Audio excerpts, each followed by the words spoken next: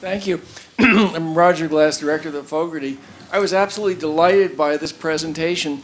And when I was invited four years ago to speak at Rice, I never talked to bioengineers. I knew nothing about engineering. I resisted going, and I came away absolutely fascinated with what Rebecca Richards Kortum has done. So I applaud what you're doing.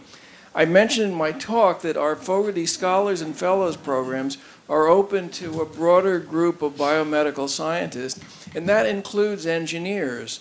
So as I hear these presentations and the enthusiasm of both the undergraduate engineers who have overseas ideas and projects, or the graduate programs like your biodesign, uh, our fellows program is open uh, to these candidates. And I work very closely with Dr. Rod Pettigrew at the National Institute of Bioimaging and Bioengineering, who's also interested in the global health agenda. And we're partners on this. So it's an offer to you to identify candidates who could benefit from a year of either undergraduate but mentored research in an overseas site uh, on, a, on a, a, competitive project, or, or postdocs who want to spend a year in the field playing with these devices and bringing them, uh, and testing them. So I applaud this. I thought it was a wonderful presentation by all of you. Yes. Do I need, do I need the mic or? Uh, well, well, I think the mic is only for the camera. We can all hear you, but uh, Jacqueline will pass the mic, I think. Thank you. Okay, I'm Flora Katz, uh, coincidentally also from the Fogarty International Center.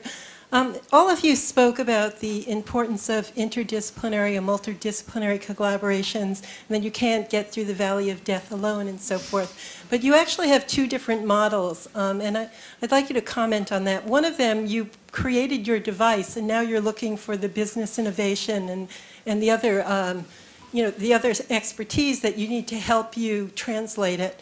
And in the other, at the Biodesign Center, you actually start with the team at the beginning. You think, I think, about the implementation and the business model at the stage of design, and you don't even start until you've, as I understand it, until you've identified the problem, the solution, the barriers, how you're going to overcome them, and so forth. So I just wonder, as an um, educational model, where do you think the transdisciplinary um, collaboration or aspects should come in?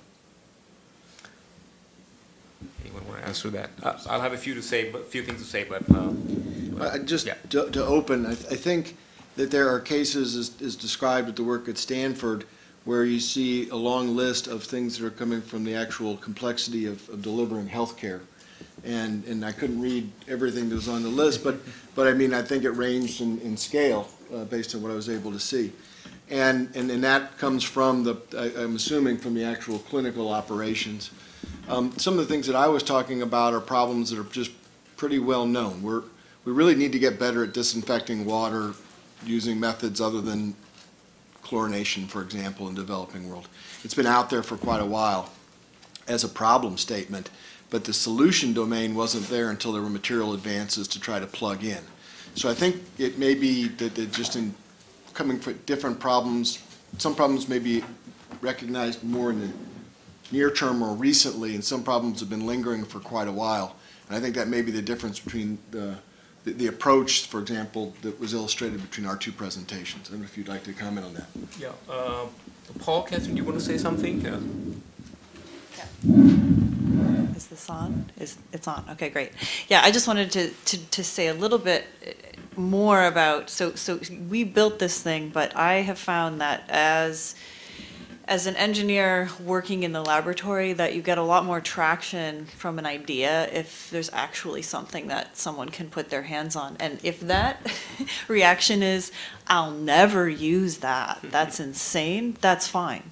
Because what that leads to, in my experience, nags from the students and from the, the people that you're, you're, you're, you're engaging is, is new ideas and different ideas and better ideas. And so I, I like to think in the classes that I teach and in some of my own work that prototyping, whether it's working prototype or whether it's just, you know, a piece of paper with a string on it that represents what something's going to be or look like is really a touch point for um, spreading innovation beyond you know our laboratory and our little uh, brainstorming group so that that's that's why you know we went and, and made this, once we knew it would work, why we went ahead and made, made it um, this far, so that we could show people how it would work and we could think about, you know, other ways that it could possibly be used that, that we haven't thought about.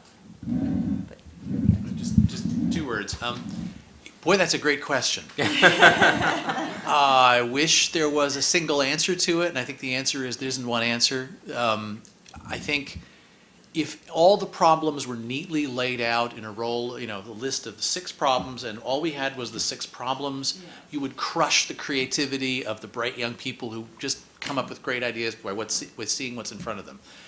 I know that there are several models that have been set out there. For example, the Coulter Foundation busily trying to generate, you know, biomedical engineering technologies out there. Their formula was put together a doctor with an engineer. You know, tie them at the hip for a while and don't let them apart. And at the end of some period, they will have a commercial product ready to go. It's not a bad model. It doesn't work every single time. I think in all these endeavors, you're going to have some hits and some misses, and you're always going to find that nothing that we do is going to advance linearly. And any cool new technology takes about 20 years to get out there in the commercial world. So, you know, uh, I, I wish there was a perfect answer. I think, you know, Paul Yock had a great model for what they're doing down at Stanford, and he's got this really heavy book that you can buy. That's right, yeah. Which will teach you an enormous amount. Yeah. Um, but like I said, I think different models for different groups of people. Yeah. Uh, Just to add to that, I, I think it's a great question too, no question about this. This is a fundamental question, actually, if we're talking about any interdisciplinary work, and in this particular case, uh, more than any other. Um, No matter what, what approach you adopt, I think one of the things that is very helpful uh, is to have viewpoints from all the stakeholders from the beginning whether you go through this process of doing the needs finding and, uh, and prioritizing and so on, uh, or, or not. Sometimes you have a glaring problem in front of you, like the water problem. It is a glaring problem that needs to be solved. But I think even in those circumstances, I think uh, it would be helpful uh, to have the viewpoints and inputs, and I think the collaboration of all the stakeholders involved. Because sometimes the solution you, uh, you come up with is wonderful in a technology in itself, but it, uh, it's uh, implementing the technology which is uh, the point of failure. So whether it's administrative, whether it's financial, whether they're cultural, there are many other issues that need to be brought into the picture. And I think the earlier you do it, the, the more you increase your chance of success. Um, I'm sorry if I could just comment also that one of those stakeholders are going to be, you know, a large stakeholder, the people in the country Yes. with whom you want to implement it, and Yes. where you source your materials from, how you're going to dispose of them, whether they're strong enough to do the bicycle pump, and all of those things Yes. um, are are really going to impact your design, but Yeah, no, absolutely. Yes, question in the back there. And then, and then you next, yeah.